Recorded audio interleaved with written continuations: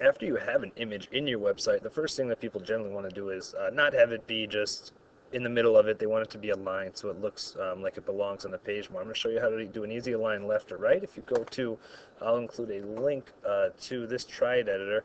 Uh, the different options that you have are for aligning are bottom, uh, where the text stays in the bottom, middle, uh, where the text, uh, the image goes exactly in the middle of text, or top.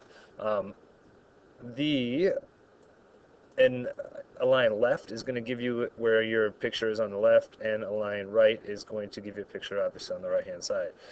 So all we need to do is add this align uh, tag to our image tag we already put on our website. So if I head in here, here's my image source equals after uh, after my quote I'm going to type in align equals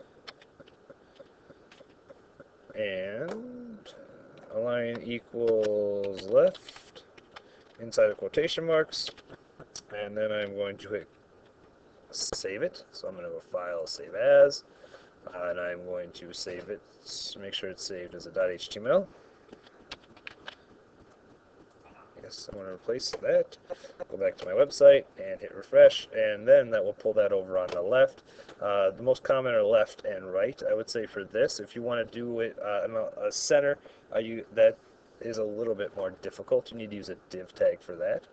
Uh, but if I put in right and I save that and refresh my page uh, is going to bring that over to the other side. So that's how you basically align your images